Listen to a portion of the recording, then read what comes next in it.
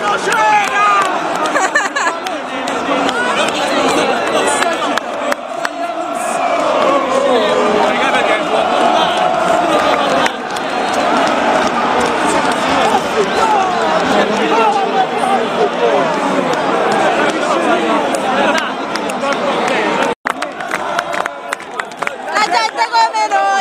gente come noi, la gente come noi non molla mai.